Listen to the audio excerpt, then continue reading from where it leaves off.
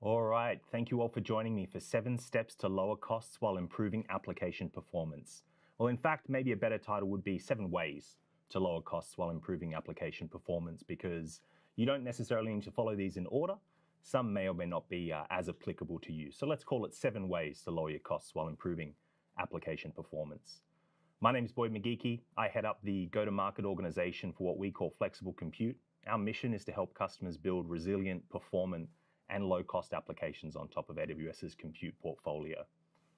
All right, we have a packed agenda today, so let's jump into it. I'm not going to read each and every one of these out, um, but I do want to, I guess, share with why we're here trying to help you lower your overall costs, uh, particularly while operating on AWS. And I think uh, Andy Jassy, the Amazon CEO, said it best when he said, "We don't want to make money from customers that aren't getting value from us." Right? How many of your partners call you and say, "Stop spending money"?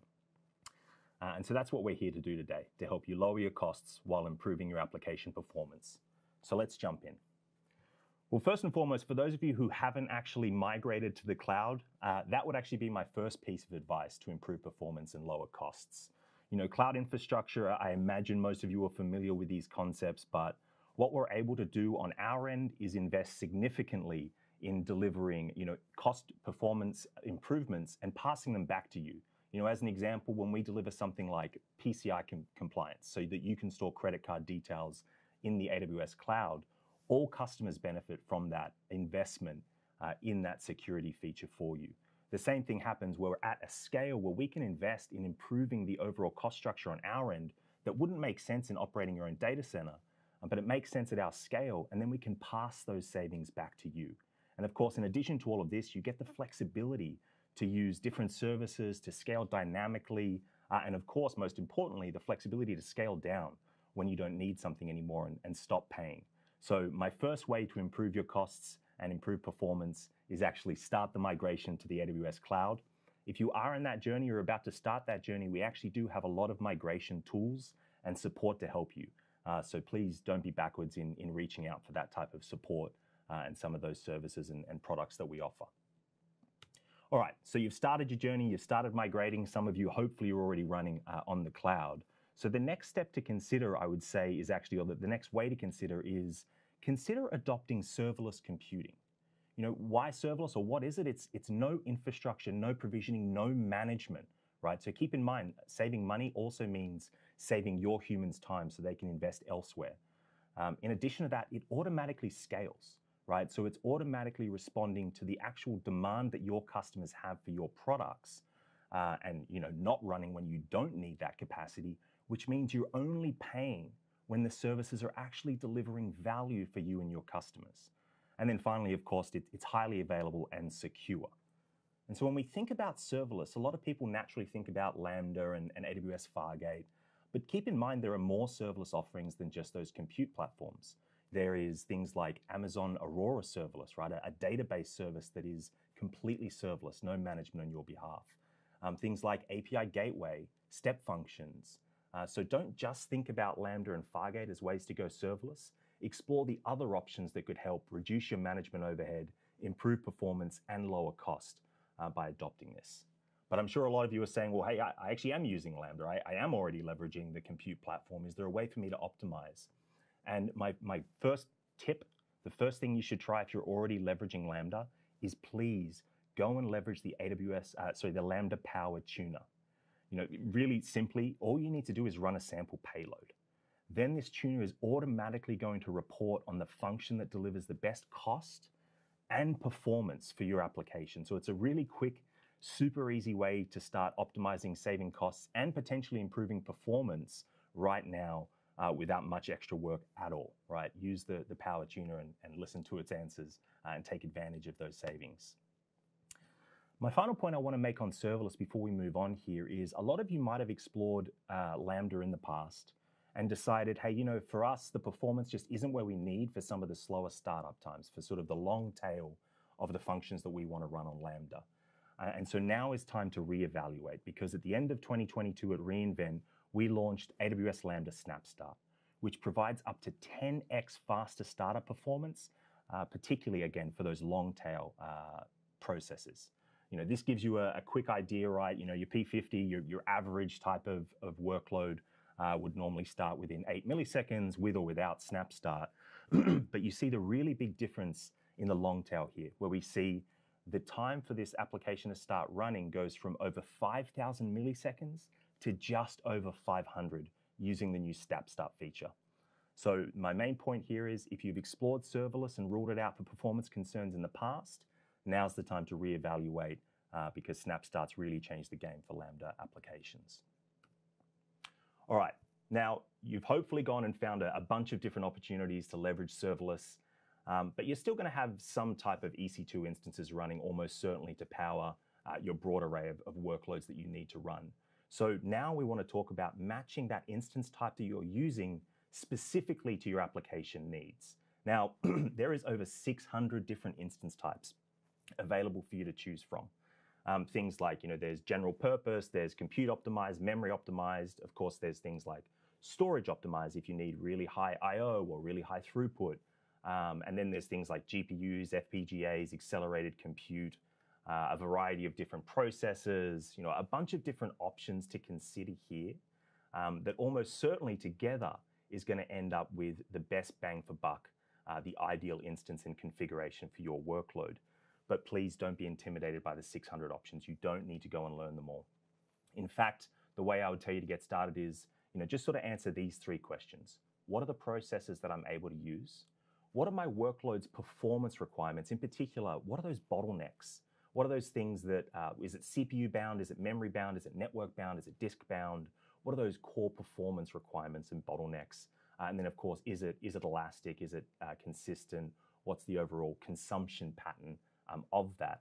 And once you've answered those questions, we can actually automate the process of finding the best first instance for you to try for that application with attribute-based instance selection. With this service, uh, as we talked about, you really just need to know, hey, like these are my minimum CPU, minimum memory, um, and then we can go out and actually find the instance that meets or exceeds those specifications that you've put in at the absolute cheapest price, right? So in this example, we're saying uh, we need a minimum of four vCPUs, uh, just over 32,000 uh, megs, uh, and it's gone and automatically found the instance type that best matches that. Now, if you're still a little bit intimidated and you're thinking 600 options, even if I know my specs, how do I ensure I'm actually running on the most optimal instance types? Well, again, we have a tool for that. Uh, we have, in fact, a number of tools for that. Uh, Trusted Advisor, there's some cost management tools, but I'm going to focus in on the AWS Compute Optimizer here, which provides a deep dive recommendation based on your actual usage metrics. And this is the really important thing about operating in the cloud is if you discover that you're actually now running on a suboptimal instance type, whether it's because what you thought the performance characteristics were wrong, or potentially because you've actually added new functionality or done a performance optimization work on your code, the AWS Compute Optimizer is always analyzing those metrics, will make a recommendation on a better instance for you to run, and then you can make that change and one second later, you're benefiting from a lower cost uh, and equal or greater performance um, because you are in the cloud, right? So um, leverage this tool. This isn't a one and done. This is something that you should come back to on a semi-regular basis and say, hey, now that we've made all of these changes, are we still running in the most optimal way? Has AWS launched a new instance type that provides even better bang for buck? The AWS Compute Optimizer is going to help you uh, make those decisions uh, and feel confident that you're making the right decisions consistently. All right, so we've right-sized the instance types, we've explored serverless. Now it's time to select the purchase model that best fits your budget and the nature of the workloads that are running on those instances. If you've ever attended an, an AWS presentation about compute before, you've likely seen a, seen a slide similar to this. Um, you know, there's three core purchase options to consider when it comes to leveraging EC2 instances. You know, first there's on-demand. You know, almost every customer in the world uses some amount of on-demand. You pay by the second, no long-term commitments. When you don't need it anymore, you give it back to us, and one second later, you stop getting charged. It's really fantastic for stateful, spiky, spiky workloads and when you're just, just experimenting, getting started. Then there's savings plans. Savings plans offer savings of up to 72% over that on-demand price we just discussed in exchange for a commitment for one to three years. Uh, the main sort of big extra thing to consider with savings plans is it really is ideal for workloads or instance types that are going to be on most of the time. You know, maybe not 24 by 7, but but most of the time. Um, and as I say, by making that commitment to continue using it, you receive this significant discount. We'll dive into that in a little bit more detail in a moment here. And then finally, near and dear to my heart, uh, one of the most powerful tools to optimize your overall compute costs is spot instances. Spot instances are our spare capacity, available at up to 90% discount over the on demand price. The way we're able to actually deliver that significant discount, though, is that spot instances can be interrupted when we need to return them back to on demand or savings plans customers, right? So that means it's great for fault tolerant, flexible workloads um, that can handle that interruption. And when I talk about flexible, you know, for the most part, I just mentioned we have 600 instance types. When an, uh, a good spot customer gets interrupted, let's say we take the uh, M6 large away from them, they might automatically replace that really quickly with the M6i dot large, right? So that's what it means to be flexible and fault tolerant. They're willing to say, listen, I won't get the absolute best instance for my workload because I know I'm saving a lot of money. So I'll just select any instance that meets or exceeds the specs that work for me. All right, let's spend a little bit more time on savings plans because there's actually three different types of savings plans options. The first and most popular because it provides the greatest flexibility is compute savings plans. Provides discounts of up to 66% over the on-demand price. And as I mentioned, it, it's incredibly flexible. You don't need to specify a specific region or instance family or size. That means one day you can be running in the Singapore region using the M5 large, and then the next day you could be running in the London region using a GPU. And Compute Savings Plans is going to automate the process of finding and applying the maximum discount that we can for the instances that you have running. In addition to all of that flexibility, it also provides you the flexibility to move to something like Lambda or Fargate and continue to take advantage of those compute savings plans. So if you're in the middle of a, of a serverless journey, you can still start saving using compute savings plans today. Then there's the option where you would actually be a little bit more specific, where you would say, hey, I'm going to run a specific instance type, you know, let's say a GPU, a specific GPU in the Singapore region for the next year or next three years. So you're being a little bit more specific, which provides us even greater insights into what you specifically need. So we're able to provide an even more significant discount, now up to 72%. And it's still flexible, right? You can still change sizes, operating systems, and tenancy. Uh, you've just told us the specific region and instance type that you're going to continue to use. And then finally, there's the SageMaker savings plans. Um, up to 64% uh, of eligible SageMaker machine learning instance types provides flexibility across uh, ML usage types, instance families, sizes, and still regions here. Okay, so multiple different options of savings plans uh, that you can take advantage of.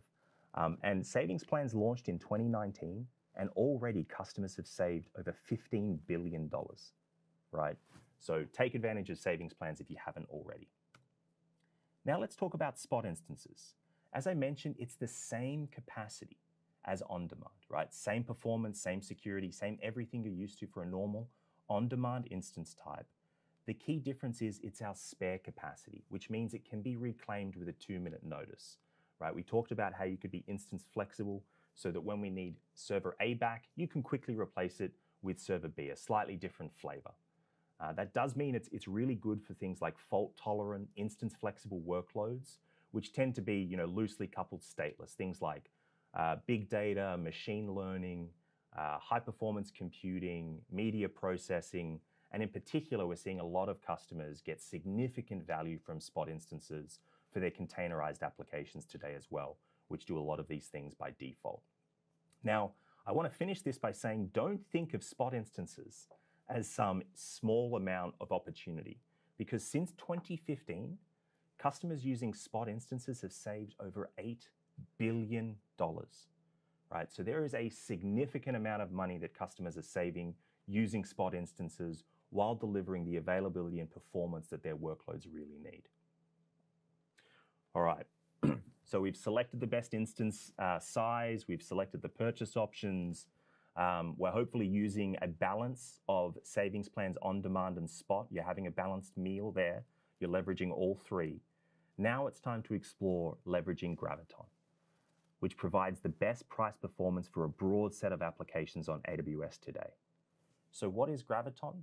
Well, I imagine most of you have heard of Intel and, and AMD processors. They power a lot of the fantastic EC2 instance types we offer. But AWS now actually makes our own silicon and offers it as Graviton instance types. Um, and I'll also mention here, we, we do also offer processors from um, Apple, Apple uh, to run uh, Mac OS in the cloud uh, as well. So what's so great about Graviton? Well, as I mentioned, Graviton is actually built by AWS. Um, it's built using the ARM 64-bit processor cores, which actually means it's, it's a similar architecture to that processor in your phone, which means it's incredibly sustainable, low power, uh, low power consumption. But the really awesome thing is because it's built by us, we can build it to target optimizations for cloud native workloads we can look at the performance characteristics of workloads that customers are running and we can say, hey, if we did this, this, and that, we can actually deliver more performance at a lower price. And we can continue to rapidly innovate. We now have Graviton 3, and I'll spend a little bit more time talking about this, but we're innovating rapidly, continuing to improve this platform. So while there's a significant opportunity to optimize moving to Graviton today, you'll actually see when we talk about some of these customer stories that you should expect to continue to reap performance and cost benefits from the Graviton platform for years to come. Right? So, well, what do you expect if you move today? Up to 40% better price performance by leveraging Graviton today. They are our high, highest performance instances in their families. And the way to think about this is per vCPU pricing is about 20% lower than the comparative x86 instance type. Uh, I'll also mention here that uh, the Graviton vCPU is actually a full core, which is part of part of many elements that overall deliver an up to 40% better price performance, right? So not only is the per vCPU price lower, you'll actually get better performance for many applications out of Graviton, which is seeing customers saving up to 40% uh, overall versus comparable x86 instance types. Right, so um, if you haven't already, start looking at Graviton particularly for these workloads when you get started. This is by no means an exhaustive list of all of the uh, workloads that we see Graviton being successfully run on today, um, but it's where we see customers able to move fastest and reap benefits quickest, right? So whether it's web, gaming servers, open source databases, through to their analytics and, and microservice workloads, uh, this is where we would recommend from a compute perspective to get started. But I actually have an even better option if you're using any AWS service, there's a very good chance that we now have a Graviton support in that AWS managed service. Here is a, here is a picture of a lot of the AWS managed services that support Graviton today. One of the reasons customers like adopting Graviton via these managed services first is it's a click of the button, right? We've already done the work to, to make the application, the service, the managed service that we offer run successfully and very performant on our managed services, which means, as I say, very often it's a matter of clicking one button and you start reaping all of the benefits we've been talking about, whether it's Document DB, SageMaker, RDS, Fargate. Uh, you know, click one button with an Amazon managed service uh, and, and start leveraging Graviton today. Uh, and that will hopefully also help prove to any naysayers uh, that might think Graviton doesn't work.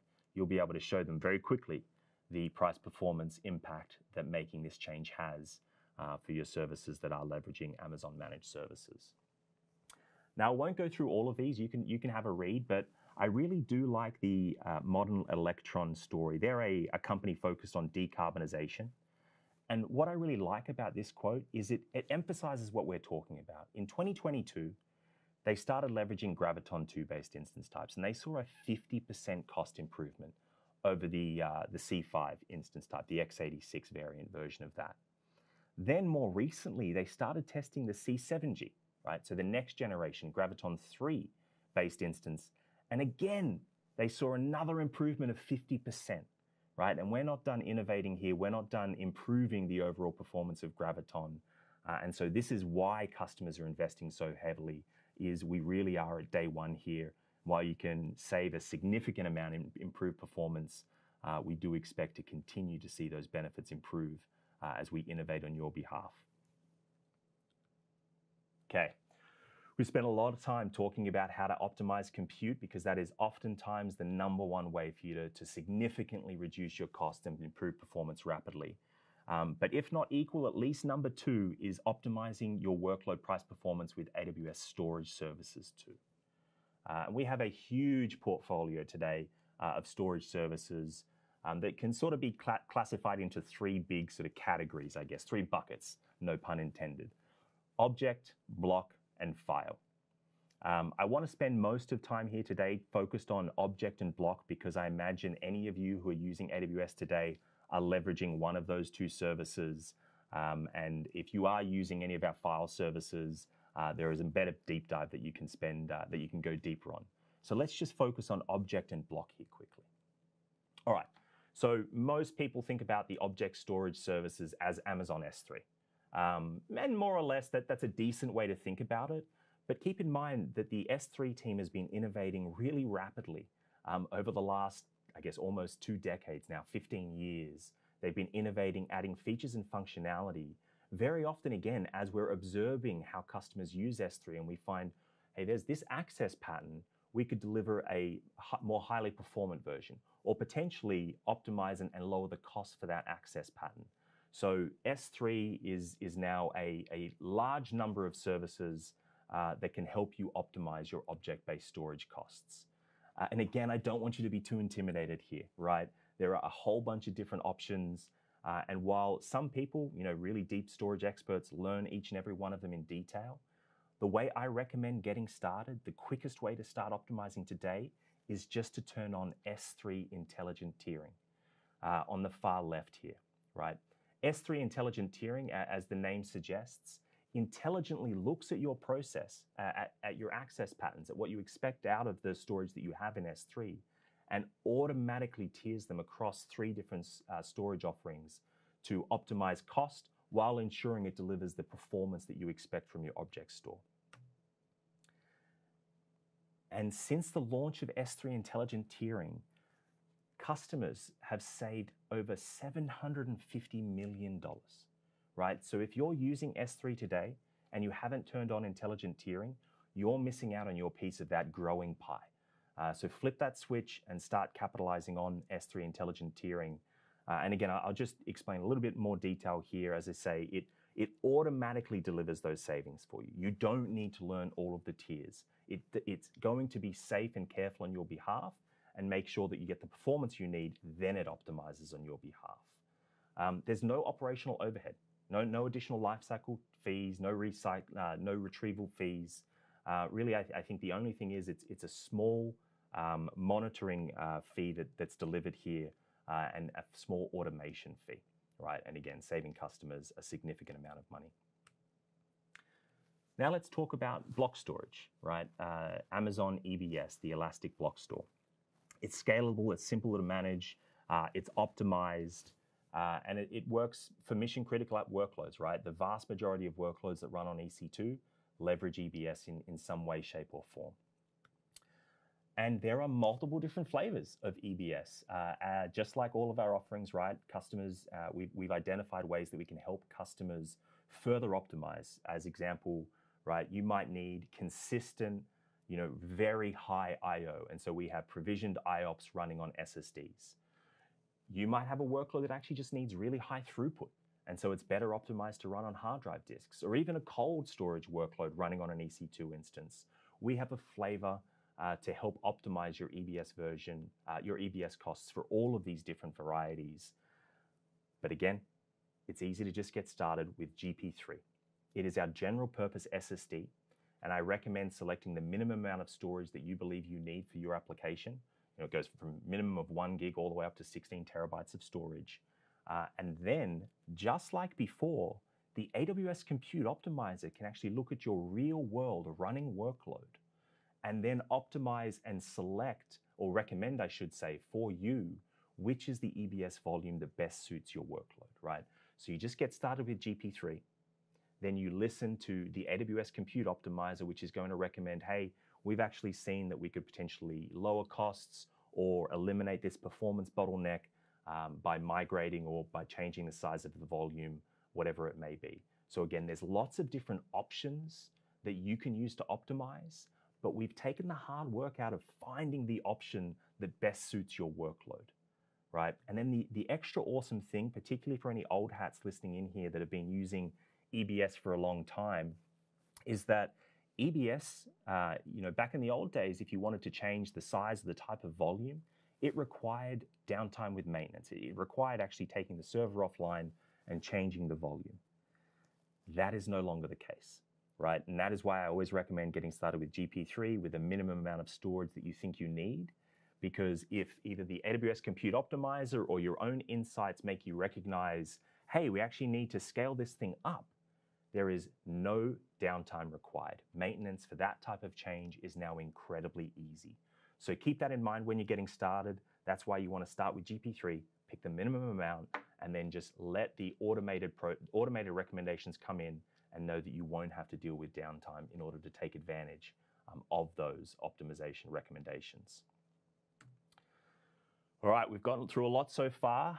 The last way that I want you to consider optimizing your costs while improving your overall application performance is actually optimizing resource capacity to fit your demand, right? And so just quick callback, we talked about right sizing the specific instance, right? Using the AWS Compute Optimizer to select the specific instance that has um, the performance you need while the minimum costs that, that we can possibly offer for you. But then the next step is actually to say, well, have I got the right number of those resources running, right? Starting to scale. So the next big way to optimize is to start using EC2 auto scaling groups or auto scaling in general, right? Because uh, if you're not using auto scaling and you're not taking advantage of this functionality, you're going to end up in either the left or the right uh, or, or, some different version of the left or the right where you're either under provisioned or over provisioned, right? And if you're under provisioned, on the left-hand side here where you have too few instance types. This is where your customers potentially start seeing downtime in your application, or they actually just see the application really slow down to a point that they don't want to come back and use it again, right? So you're, you're sacrificing the performance that you need for your business on the left. Whereas on the right, performance is great, right? There's more capacity at any point in time than your customers need. But that means you're wasting money. You're paying for resources that you and your customers do not need. And so we want to really focus on, you know, having the right number of instance types dynamically scaling just ahead of when they're needed, right? We always have to have a little bit of extra capacity, but how do we get that to the, the minimum amount without ever sacrificing performance?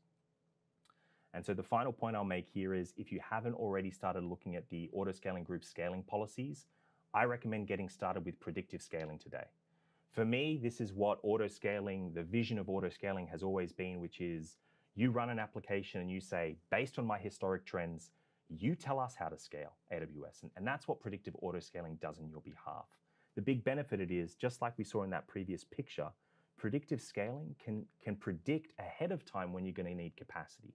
So it can bring those servers up and make sure they're uh, running uh, and available before the, the spike in demand comes for your application, the predictable spike comes. Okay, so uh, start leveraging scaling policies. If you haven't leveraged any of these before and you're wondering where to get started, start with predictive scaling. Uh, it's going to take a, a, lot of the heavy lifting, a lot of the thinking out of your hands, and make those recommendations uh, on your behalf. And that's it. If I can re recommend one thing for those of you who haven't already started your migration to AWS, get started today with the AWS free tier uh, provides a, a, whole bunch of different services for you to experiment and play with. Um, and, and, they're real services, and you can use them for free for up to 12 months. Um, so if you haven't, get started today with the Amazon free tier, AWS free tier. Thank you.